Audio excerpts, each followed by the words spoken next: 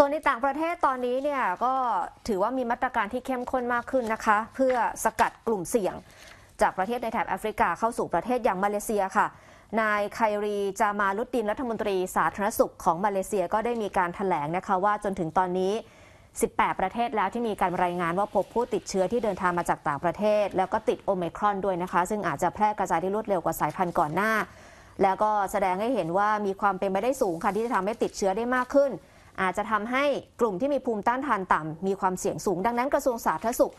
ของมาเลเซียนะคะ จึงได้ตัดสินใจที่จะใช้มาตรการจำกัดการเดินทางเข้าประเทศ เป็นการชั่วคราวกับชาวต่างชาติที่จะเดินทางเข้ามาในประเทศที่มีความเสี่ยงสูง